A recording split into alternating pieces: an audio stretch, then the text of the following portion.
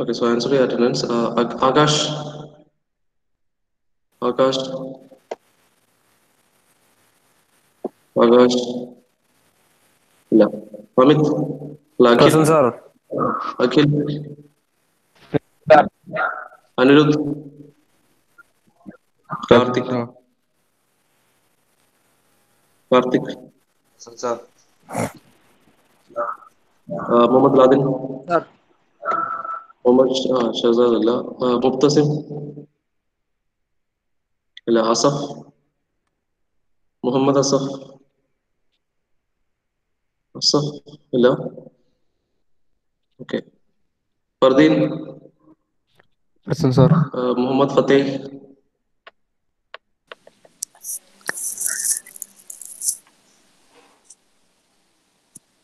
लो फतेह लो फतेह तीन लो दोन फतेह लो ओके मोहम्मद समा गला प्रसन्न सर। मोहम्मद जियान। प्रसन्न सर। निशाक निवेद। प्रसन्न सर। प्रत्युष। प्रत्युष। ला Pratish. No. Okay. Rahul. Present, sir. Sarun. Present, sir. Saurabh. Saurabh. Saurabh, never Saurabh. अच्छा मूवी नोना ना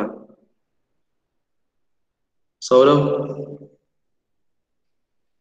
सौरव സൗരവ് സൗരവ് അല്ല Sreerag present sir Vishnu A P present sir Vishnu N present sir Dharmesh Dharmesh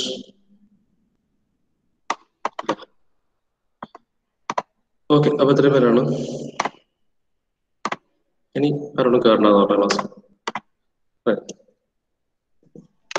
okay no start the class okay നമ്മൾ കഴിഞ്ഞ ക്ലാസ്സിൽ we have completed the concept of crippling stress right crippling load കണ്ടെത്തുന്നത് എങ്ങനെയാന്ന് നോക്കി അത് നമ്മൾ crippling സ്ട്രെസ്സിലേക്ക് എങ്ങനെ വരും എന്നുള്ളത് നോക്കി right crippling ലോഡിന്റെ പ്രോബ്ലം നോക്കി crippling സ്ട്രെസ് വരുന്ന സമയത്ത് your final equation was found to be something like this right so crippling stress is equal to pi square pi square e where e is your Young's modulus divided by effective length by k in the whole square ആണ് effective length by k ആണ് ഇത് അത് നമ്മൾ എന്ത് ചെയ്തു for ഒരു particular case for hinged hinged condition ആണെങ്കിൽ your effective length is L okay so in that case your crippling stress is equal to pi square e by l by k the whole square this l by k is called the slenderness ratio okay മെറ്റീരിയലിന്റെ slenderness ratio ആണ് L by K so in short നമുക്ക് ഇങ്ങനെ പറയാം your crippling stress is equal to pi square into Young's modulus divided by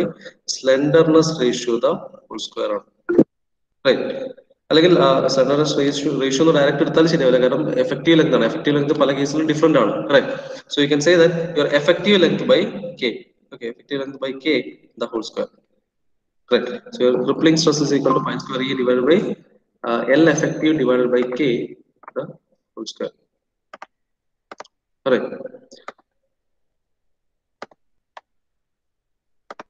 Okay. അതിൽ slenderness ratio നമ്മൾ define ചെയ്യുന്നത് it is ratio of the actual length effective length അല്ല actual length ആണ് actual length to the radius of gyration right okay radius of gyration ചിലപ്പോൾ പിന്നെ not given ആണെങ്കിൽ given അല്ല എങ്കിൽ you can find the radius of gyration by this equation root over I by A radius of gyration K is equal to root over e by a right and finally uh, based on this slenderness ratio the beam is classified into three types one is short column long column and intermediate column uh, no ഇതിൽ uh, for a steel uh, so for a steel bar your uh, if the L by K value is less than 50 it is called a short column and if, if the value is greater than 200 then it, it, it, comes in the category of long column and intermediate column the L by K value ranges between 50 to 200 okay അപ്പൊ ഇതിന് ഇത്രയാണ് കാര്യങ്ങൾ നമുക്ക് ഇത് base ചെയ്തിട്ടുള്ള ഒരു problem ഒന്ന് check ചെയ്ത് നോക്കാം ഓക്കെ നിങ്ങൾ ചെയ്യേണ്ടതാണിത് ഞാൻ കൺസെപ്റ്റ് മാത്രമേ പറയുള്ളൂ റൈറ്റ് അപ്പൊ ഇവിടെ നമുക്ക് ഇവിടെ പ്രോബ്ലം ചെയ്യാൻ വേണ്ട മെയിൻ കാര്യങ്ങൾ when the problem is related to crippling stress ഇതാണ് നമ്മുടെ മെയിൻ ഇക്വേഷൻ ഈ crippling stress sigma C R is equal to pi square E divided by L effective by K the whole square is the equation to find the crippling stress. Okay. Now, and from here, uh, if your k value is not given, you can find the k using this equation root over moment of inertia by the cross section area. Okay, that's it. So this is your crippling stress. Okay, and അടുത്തൊരു case your your uh, slenderness ratio SR is nothing but actual length by K L by K എന്ന് വെച്ചാൽ ഈ ഒരു ഫോമിന് നമുക്ക് depending upon the end condition you can change it to എന്താണ് slenderness റേഷ്യോന്റെ ടേമിലേക്ക് ഇതിനെ കൊണ്ടുവരാനും പറ്റും ഓക്കെ സോ ഇത്ര മാത്രമേ ഉള്ളൂ അടുത്ത സെറ്റ് ഓഫ് പ്രോബ്ലത്തിന്റെ ബേസിക് കൺസെപ്റ്റ് അല്ലെങ്കിൽ അതിന്റെ പ്രോബ്ലം ചെയ്യാനുള്ള ടെക്നിക്കൽ ഈ ബേസിക് ഈ മൂന്ന് ഇക്വേഷൻസ് മാത്രം അറിഞ്ഞിരുന്നാൽ മതി the way you apply you can solve the problem okay ഇപ്പൊ ക്വസ്റ്റ്യൻ എഴുതിക്കോ question using Euler's formula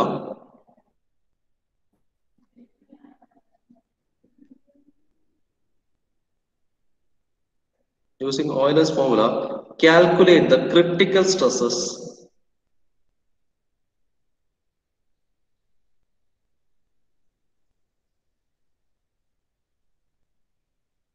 calculate the critical stresses for a series of struts.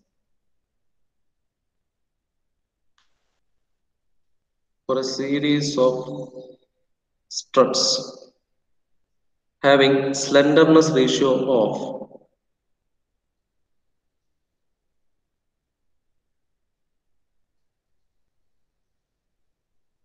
having slenderness ratio of 40 80 160 and 200 under the following conditions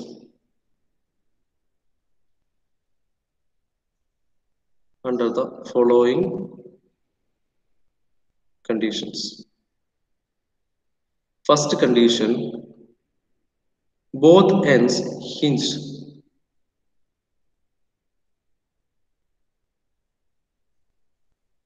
And the second condition, both ends fixed.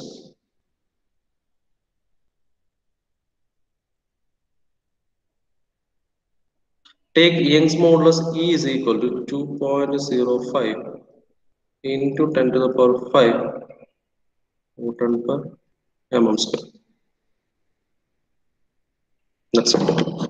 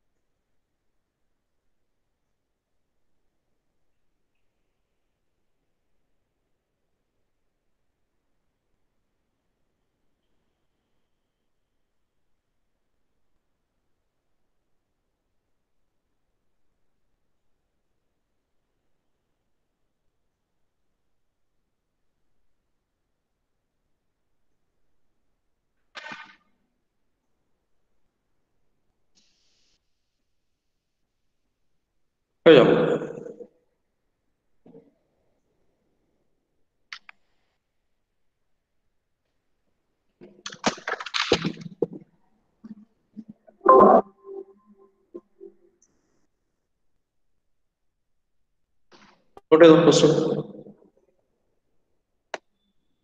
Yes, sir.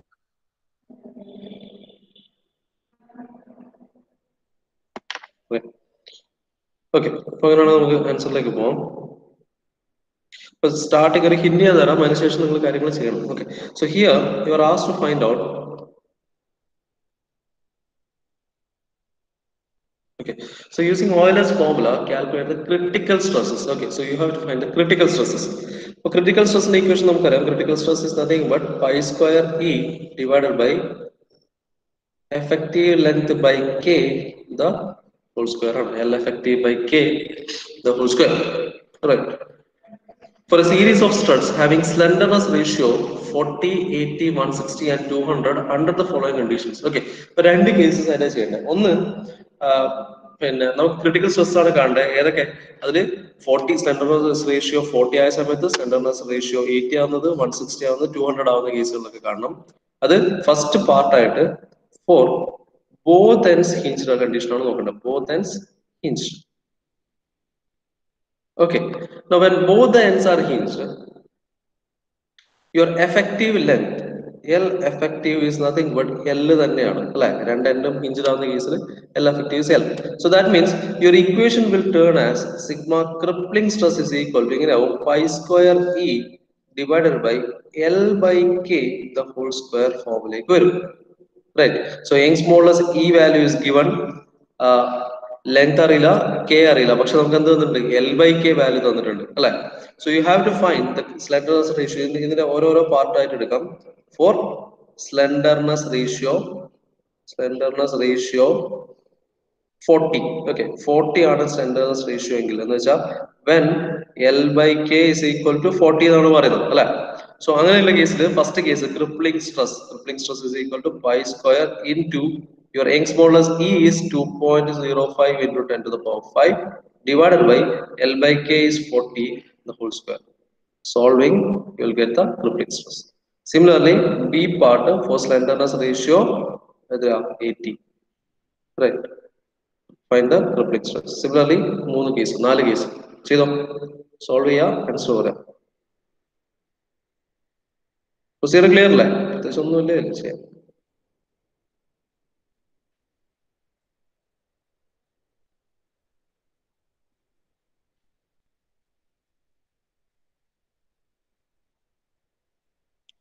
Flix stress equal to pi square E pi L by K is forty five ചെയ്തോ? Answer പറഞ്ഞു.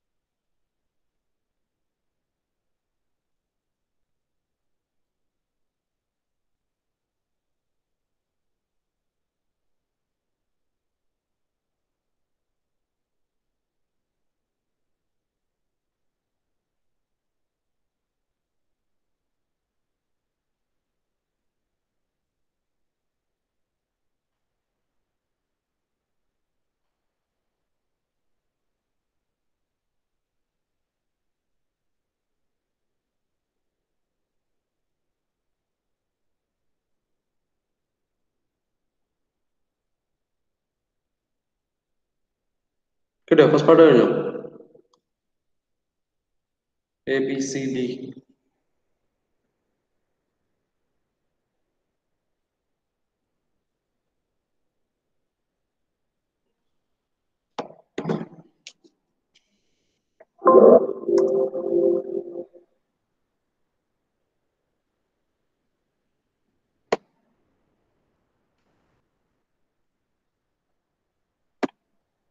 Entendeu? Entendeu?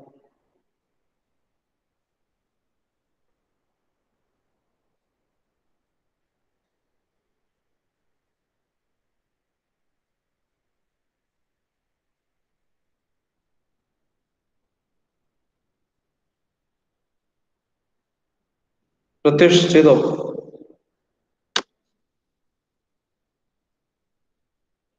Pratyush sir ചെയ്തോ കിട്ടിയോ ചെയ്തോണ്ടിരിക്കുന്നു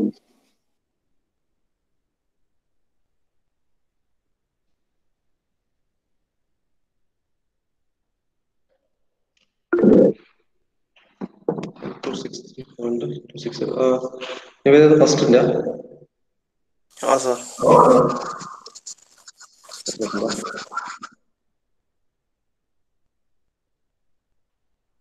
yes correct one two six three newton per mm current okay 63.26 okay right that much newton per mm current but second part second part அடுத்த is when l by k is 80 speed okay 3 1 5 7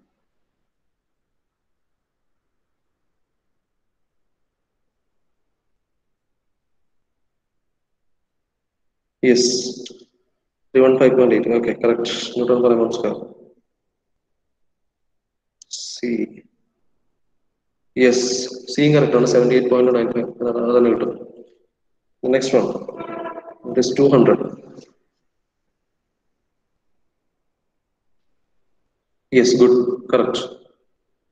അപ്പോൾ first part വേറെ പ്രശ്നമൊന്നുമില്ല അല്ലെ direct ആയിട്ട് solve ചെയ്യാം ഓരോ solution direct തന്നെ കിട്ടും സോ ഫസ്റ്റ് കേസിൽ one two six four point five four one two six four six four point five four newton per M square right similarly B പാർട്ടിന്റെ കേസിൽ യുവർ ക്രിട്ടിക് സ്ട്രെസ് സോൾവ് ചെയ്തപ്പോൾ three one five point something newton per M square C പാർട്ടിൽ സിയിൽ എത്രയായിരുന്നു your when it is one sixty ആവുന്ന സമയത്ത് L by K value is 160. Your coupling stress, your coupling stress is 70. Voilà. Coupling stress is 160 or something. 79.03, right? 79.03 Newton per mm square. And finally, when your L by K value was 200, your crippling stress value was found to be 50.58 Newton per mm square. Right. ഇതിലാണ് വരുന്നത് നമുക്ക് ഇവിടെ ഒരു കാര്യം ശ്രദ്ധിക്കാൻ പറ്റുന്നത് when your L by K value is increasing L by K value കൂടുന്നതിനനുസരിച്ചിട്ട് എന്ത് സംഭവിക്കുന്നത് crippling stress value is decreasing right So denominator value on and that value is increasing, your fixed stress value decreases. Right. And when L by K value increases, that becomes a long column. Right. Now, uh, ഇനി നമുക്ക് അടുത്ത case ചെയ്യാം second when both the ends are fixed okay അതൊന്ന് ചെയ്തു നോക്കെ both the ends are fixed ഈ നാല് കണ്ടീഷനും വെൻ സിമിലർലി തന്നെ പോണം when both ends are fixed ചെയ്തു ഇക്വേഷൻ ഒന്ന് മാറ്റം വരുന്ന നോക്കുക. അതിനനുസരിച്ചിട്ട് ഇതേപോലെ എ ബി സി ഡി നാല് കേസ് നോക്കെ both answer are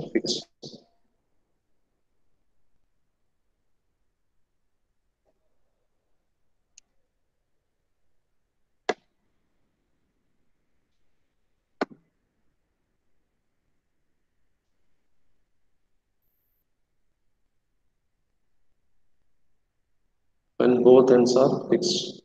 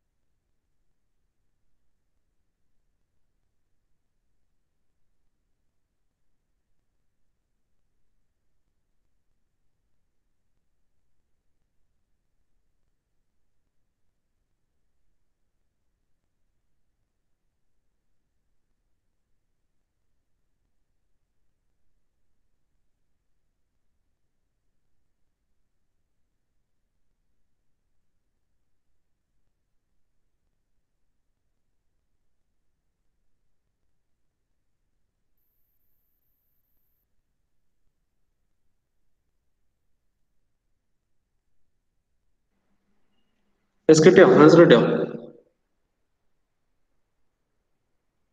L by K ഫോർട്ടീന്റെ കേസും കിട്ടിയോ ഓൾമോസ്റ്റ് ഉള്ള ടൈം പറയാം L by K forty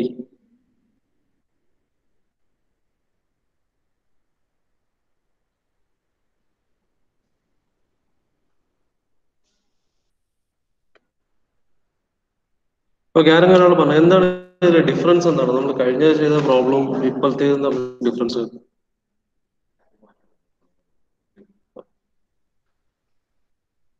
എന്താ difference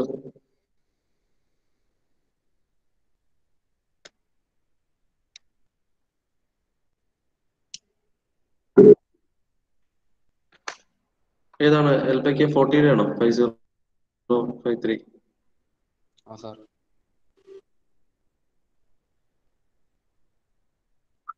Yes okay, correct. Good, very good.